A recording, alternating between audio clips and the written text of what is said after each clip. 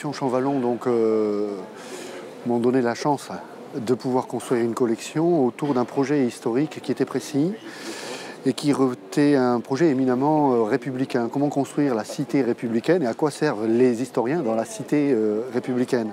Donc c'est pour cela que la collection a voulu qu'elle s'appelle La chose publique, comme si elle appartenait euh, pas simplement à un éditeur, à un directeur, mais aussi surtout au lecteur. Donc le pari de la collection est le suivant. en tant qu'historien, j'accueille des projets, je les soumets bien sûr à Champvallon avec un impératif et une contrainte qui sont souvent étonnantes pour les collègues euh, jeunes et, moins jeunes, qui est de dire, voilà, la question que l'on se pose en tant qu'historien, quel rapport elle a avec aujourd'hui? Donc j'accepte euh, tout l'appareil de notre critique scientifique, mais l'objectif c'est de consacrer un dernier chapitre à vous poser la question, et aujourd'hui, quel est le rapport? Donc quelquefois ça désarçonne un petit peu les collègues, et puis d'autres fois ils jouent parfaitement bien le jeu mais c'est la seule contrainte pour entrer dans la collection. Donc on écrit un livre d'histoire et on consacre un chapitre pour se dire, voilà, comment aujourd'hui mon problème euh, d'historien est-il dans l'actualité, peut-il être perçu ou quelle déclinaison je peux, euh, je peux lui donner. Euh, pour vous donner un exemple, cet ouvrage sur ordre et désordre biographique, c'est un ouvrage qui est très intéressant, qui pose la question de l'invention du dictionnaire biographique après la Révolution. On ne sait pas qui est qui. Avant, il y avait la noblesse, le clergé, c'est clair. Mais avec l'apparition euh, donc de la révolution, de la citoyenneté, euh, de la célébrité nouvelle, il faut inventer des, euh, des dictionnaires biographiques. Dans cette collection, j'allais dire, hélas, car toute naissance d'un livre est heureuse, celle-là, on aurait presque voulu s'en passer, mais en même temps, c'était un devoir. C'est donc le dernier livre, la politique du rire.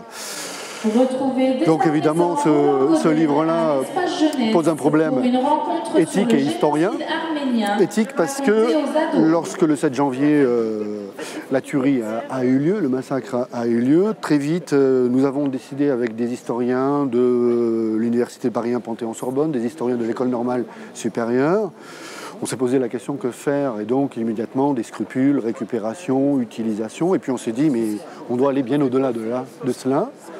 Et donc, euh, grâce à Champvallon, nous avons pu sortir ce livre très rapidement. Et les différents auteurs, euh, ça va d'une jeune, doctorante jusqu'à un professeur euh, émérite, Alain Cabantous lui-même, ont joué le jeu, ont travaillé très rapidement. Et dès cet été, ce livre a pu sortir.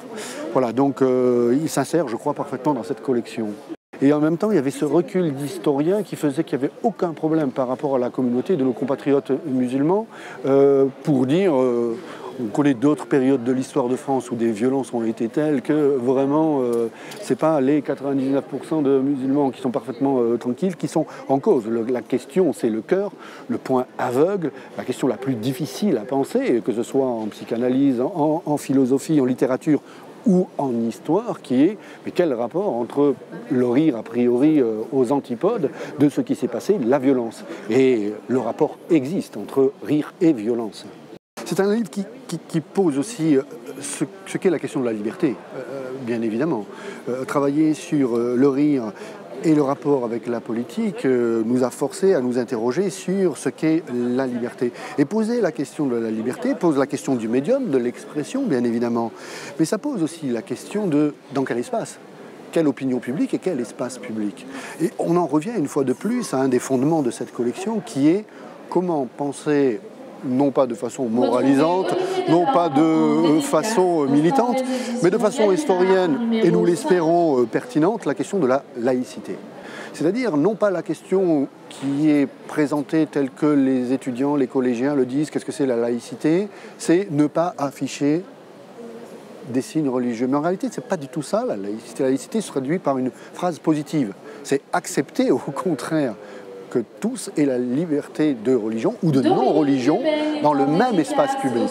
Et c'est cela que nous voulions travailler, cette idée de laïcité qui pouvait être le jeu même du lien, de l'acceptation d'un rire qui peut être violent, mais qui ne tue jamais, et d'une politique qui se construit tous ensemble à l'heure actuelle.